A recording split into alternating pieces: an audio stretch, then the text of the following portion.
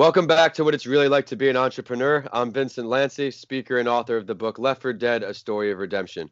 Do you want to know what it's really like to be an entrepreneur? Well, you came to the right place. Whether you're already an entrepreneur or looking to start your journey tomorrow, or someone who just needs a little extra motivation to get through the day, this is the perfect podcast for you. This is the place where you'll learn exactly what it's like in the world of entrepreneurship and hear real life, authentic stories of entrepreneurs grinding on each episode. My goal for this podcast is to help you realize that giving up is never an option. If you missed last week's episode, be sure to download it after you tune in today. Before I introduce my guest, I'll share another entrepreneurial story to inspire you all. This story is on Natalie MacNeil, she talks about how one car ride in the Czech Republic changed her entire life. She was traveling across Europe in her early 20s and was motivated by what she calls two powerful truths. One truth is that she wanted to explore the world as much as she can as a pilgrim, not a tourist, because she wanted to uncover all the hidden, beautiful truths of the world. The second is that she wanted to be an entrepreneur. She thought maybe a speaker, a teacher, or maybe an astronaut. She was so motivated and determined, but still struggled with one thing that a lot of us entrepreneurs do doubt. She says a lot of that was all doubt in her head and she moved past it. But that resonated with me because sometimes I have doubt in the things that I'm doing, but I believe in myself, so I'll do it anyway. She had many accomplishments and she stayed strong. She won an Emmy for her 2010 doc Out My Window and appeared on Forbes 100 web top 100 websites for entrepreneurs for her website, which is called SheTakesTheWorld.com. She's a true entrepreneur because she wanted to get away from the norm and see the world. Lauren, have you did you like her story? Uh, I personally loved her story because I can relate on the self doubt piece uh, a lot. so. Yeah, the voice you guys just heard is the sound of my guest. My guest on this show today is someone I met while a student at the University of Tampa. I'm fortunate to have so many friends who embarked on their entrepreneurial journeys because it allows me to deliver so many unique stories to you, all the listeners. Lauren has an awesome story to share, and she founded her own company. I'd like to introduce my friend Lauren Biese. Lauren, thanks for coming on the show. Thank you so much for having me. I'm so excited to be here. Can you please share your story a little bit and then what you're working on today after? Sure. Um, so my kind of entrepreneurial journey, I pretty much had no choice but to just change my entire life around. I was just on this really unhealthy path of I was overworking at my corporate job at the time, undersleeping, um, overeating, over like just everything that I was just on the fast track to pretty much nowhere.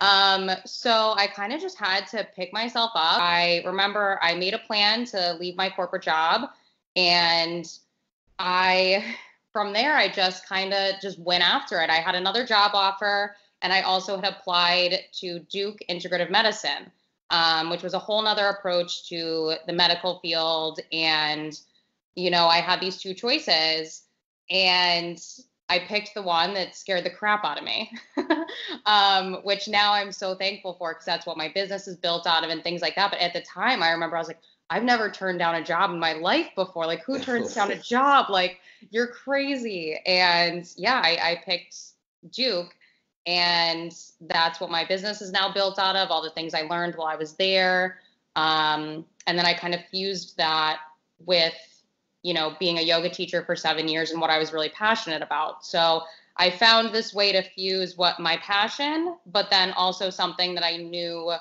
um, was either going to help people in some type of sense or just like kind of the business side of it. Um, so. That's awesome. I'm glad you spread your wings and you embarked on your journey. And I'm excited for our listeners to hear all about your journey. So now it's time for the big five, Lauren. Each week, my guest and I go over these five questions to help everybody listening in to learn what it's really like to be an entrepreneur. You ready to go? I'm ready. we touched on this a little bit just now, but when did you really realize that you weren't happy with what you were doing and that you needed to change? Could you just get into a little more detail for everybody listening in? Sure. Um, I mean, like I mentioned earlier, I was working corporate jobs in downtown Boston for about five, six years. Um, and it was a great run. I loved it. I wouldn't change it for the world. That's where I ended up making kind of a lot of my mistakes. Uh, were at other people's businesses, not mine, um, which sure. sounds terrible. But um, and so from there, I just kind of had this moment where I got really sick for a while too, and I was in and out of doctor's appointments, and they couldn't figure out what was going on with me. and a lot of it was deriving from stress.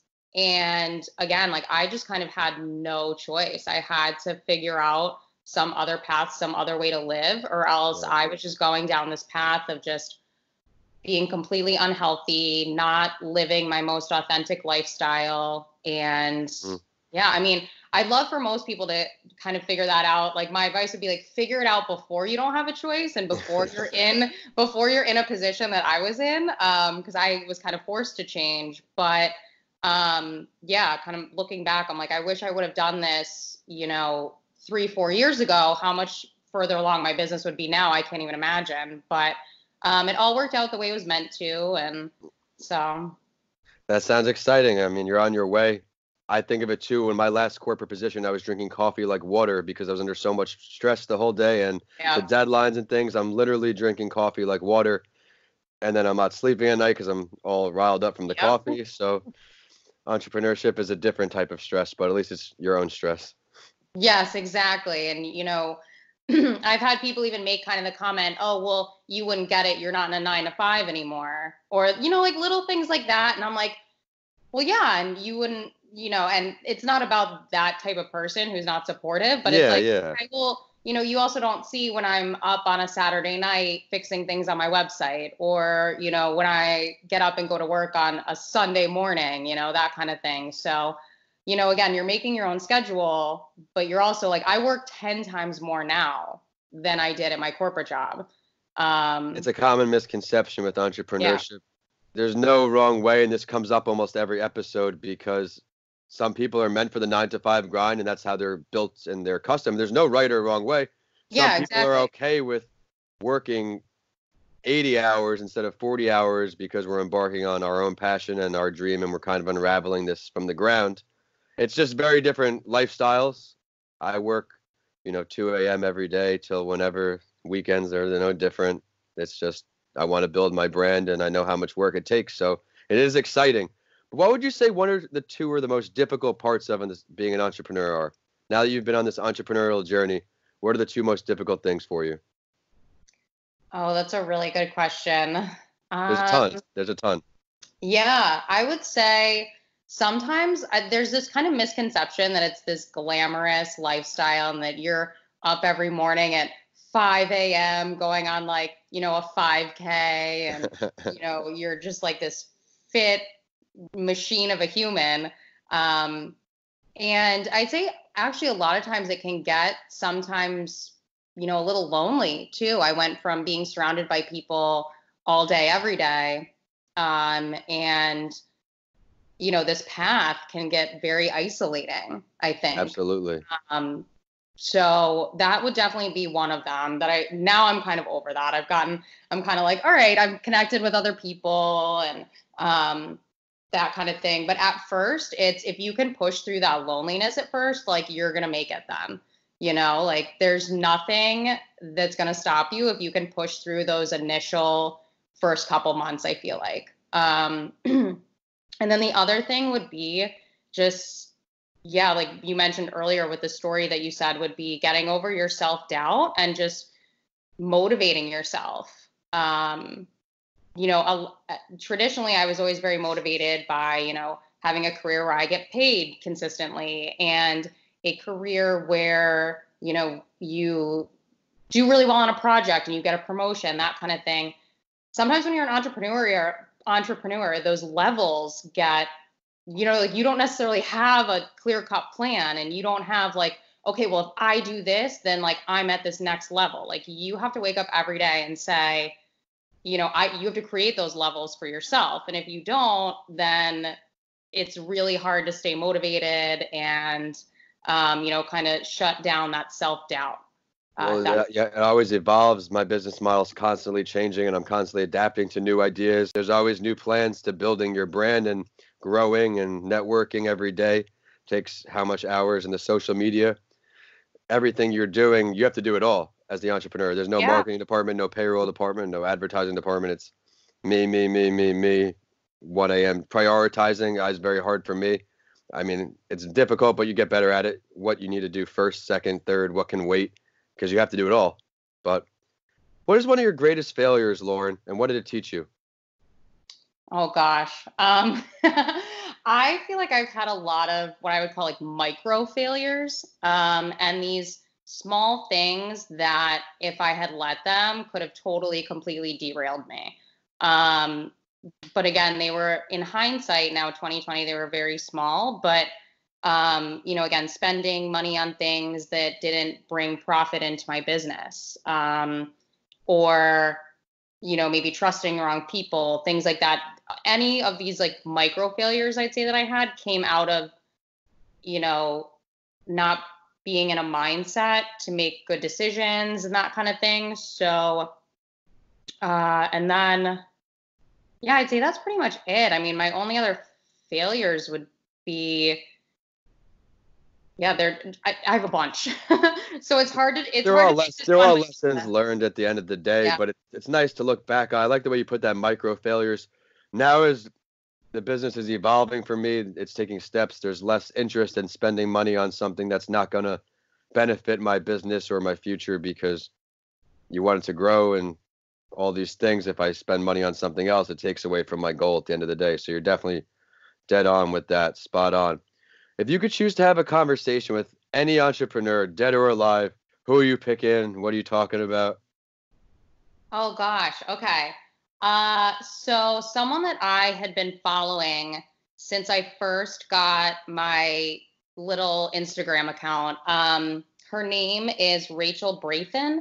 Um, and her handle is at Yoga Girl and she is someone she started i think maybe five of her own companies some of them she doesn't even own anymore she's had people like you know work with her and things like that but she is someone i used to hide her first book in my desk at my corporate job.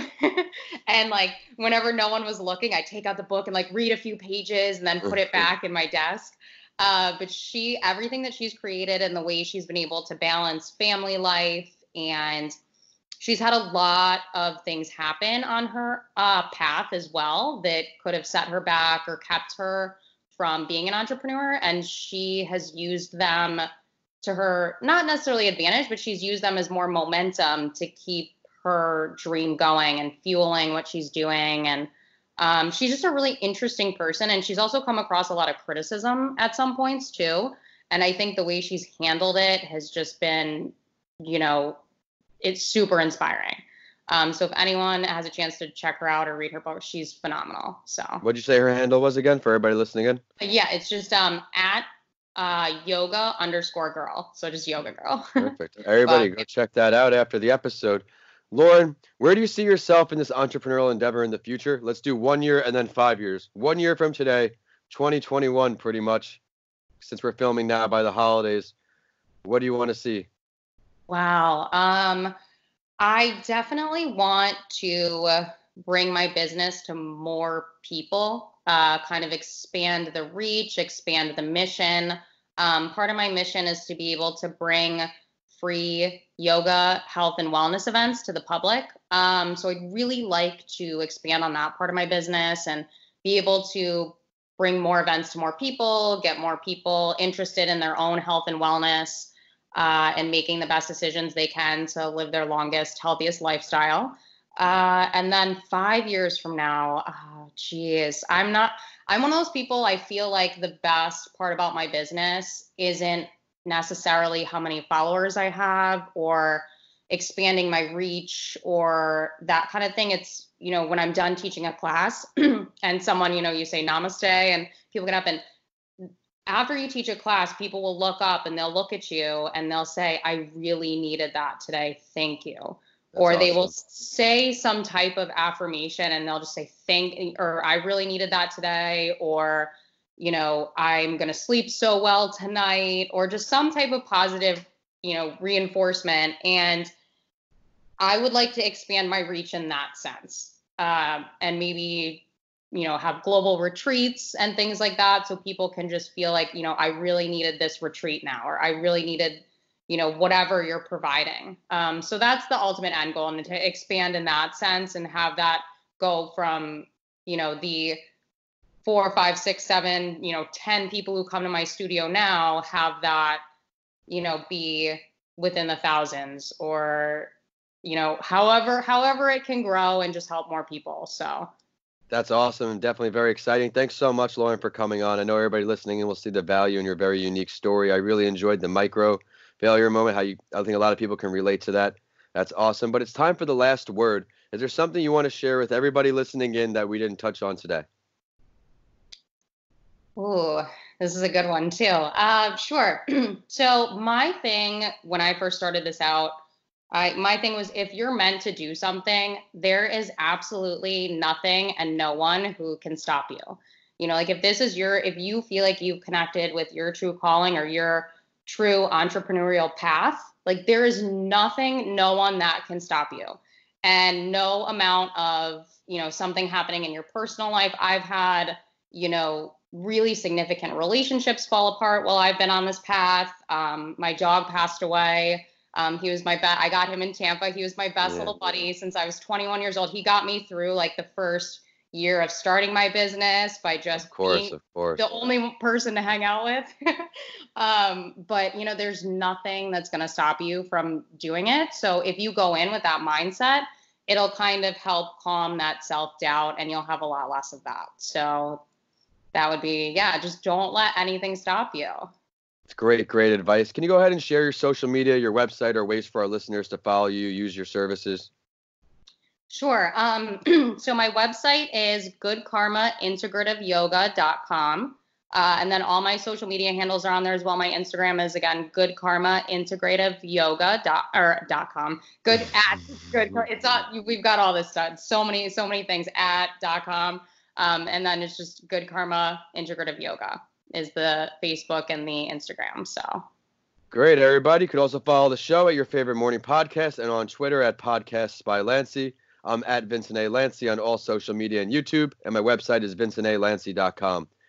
Make sure you check out my book, Left for Dead A Story of Redemption, which is on Amazon now, and DM me or email me. Let me know what you think. If you enjoyed today's episode, please continue listening and rate what it's really like to be an entrepreneur five stars. I work very hard to find value delivering stories for you on each episode. As always, I'll end the show with a quote that inspired me, and I know it will for you too. Once we believe in ourselves, we can risk curiosity, wonder, spontaneous delight, or any experience that reveals the human spirit. Thanks for listening, and I'll see you all in the next episode of What It's Really Like to Be an Entrepreneur.